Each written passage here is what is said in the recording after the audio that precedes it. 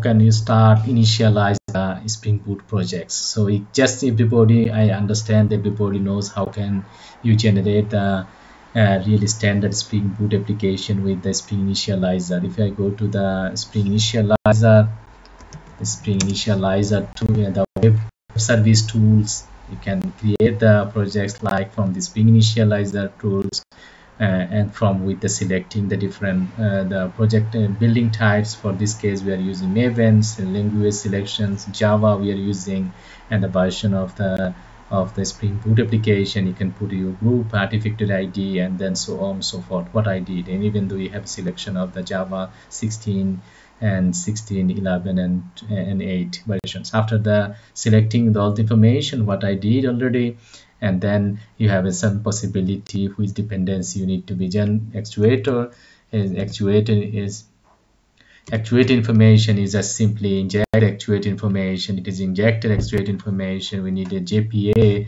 and jpa injection. We need jpa and then you also need to inject the uh, JDBC uh, PostGIS driver JDBC driver JDBC we need a DevOps uh, uh, DevOps tools and then you can see the DevOps tools and then we need also uh, the some some JVM and REST, REST API default default REST repositories you can also do. And then it's it's it's it's it's, it's it automatically create all the dependency and there is no no micrometer dependency. You need to be manually uh, inject when you uh, export the create the projects and uh, unzip the projects export import the project into the IDE IDE and then you can manually do, do the the the insert or your dependency into the pom.xml files to the additional dependency injections. That's that's we'll do together. So that means you can go to the spring initializer create the projects what the required dependency you need because this is the required required dependency that we need. But if you forget it you can later you can add it like this one. But uh, it is the good way if you take the selecting versions and then the version it will really maintain the parent child dependency injections with the proper versioning control system. So just just take it maximum what is available here and if it's not available then you can manually import the the dependency into the pom.xml files. That that's that can be the the possibility this one. So project creations you create the projects is unzip the project do the, do the put in the local directory and after the unzip the project and import the project into the your respective IDE then then that is, is no problems. So yeah I, I already did the project creations and then I, I import the projects and then you see the project is, is, is standard structure like it has some Java, SRC, SRC main Java and SRC main resources and then it has the SRC test resource. So this is standard, uh, how can I say standard, standard standard uh, Java uh, Maven project structure as like Gradle also the same project structure. This is not more, more to specials. So it has a text packet, it has a Java packet package, and it has a resource packet, the the class path resource packet. This is the most important structure of the Maven projects. And then, then after the Maven project is created, it has a pom.xml file that I am here trying to, to, to show you so if, if the project if you have no such a dependency injected so you see the basic standard structure your your, your artifactory id group id and version number what version we are creating and then after that we just inject the the open api ui that's why we need it for the for the Dogo API documentations and this is the actuator dependency that we did in the in the dependency uh, search uh, with the projects and this is the new dependencies manually you need to be imported like uh, IO micrometers so micrometer is Prometheus and then the core uh, the IO micrometer micrometer core dependencies. So this is the two two dependency just you simply need for the for the monitoring your microservice applications. Spring Boot applications. And this is the micrometer, micrometer core, and then this is the actuator for creating the default matrices like the health conditions and matrices information from out of your Spring Boot application. So dependency is injected, plotted, and then put it manually, and then and these two dependency, and then you see the standard just like JPA that we need. They have a Lombok dependency, the Postgres driver, and then so on and so forth. And this is the flyway that I said this is the one of the important part, and that we are using the uh, not Hibernate creating the schema, database schema, the flyway will create the database uh, schemas as like the version control systems, the database version control system. That's I said I in the previous screencast, I already discussed a bit more detail. How can you um, mm, how can you integrate the different database migration concept migration script or version control systems for the database migration, schema migrations with the flyway and liquibase. That's the just follow the previous one. How can you do it? with the same same script, the SQL script. Uh, but in the liquibase case, there you have a possibility like you can also XML, you can also have a possibility as a JSON format, you can also do it.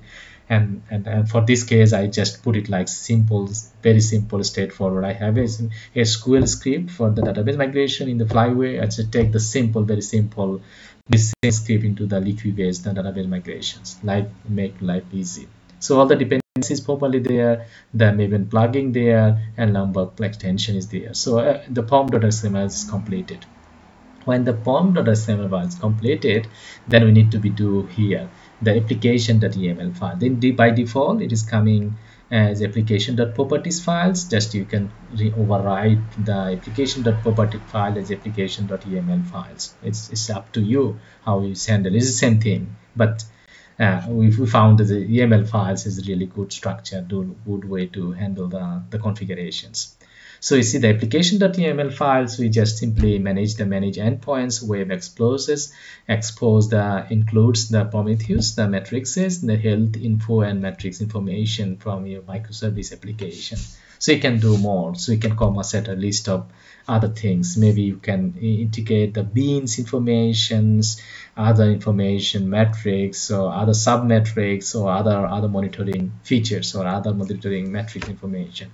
Just I simply I put it here the uh, basic standard uh, uh, include the expose the matrices, the Prometheus matrices information and health and metric info and the metric informations then show the show the endpoints health and show the details all always show the metrics tags and then the, taking the application itself the and uh, user registration flyway what you like to do then and then here is some some some plugging and uh, some information about the uh, Swagger UI that's I ended here show you. Swagger UI informations how we can configure externally uh, those those meta information even though the description about each of the microservice uh, uh, endpoints or microservice call so that means say we define here the and then some description files uh, application.yml files that I can read. Uh, I can set this override this information from external environmental settings or any external configuration files. So you can override what you like to do. Just I, I this is the possibility that I, I try to discuss with you. How can you really professionally set your configurations. And then the if you set the your professional configurations then you can externally override all the information that you need to be changed to deploy the application into the productions into the release or testing environments. And it is it is I, I understand that for the beginner it is hard to understand but if you understand one of time one times then it's like it's make your life really really very simple very easy because you understand really properly and you exercise it you practice it really professional way and then you you do not have any problems to your companies when you try to work in the company as, as a professional software developer or DevOps engineers or as a software engineers. So let's follow the channels. I believe it is really help you a really lot.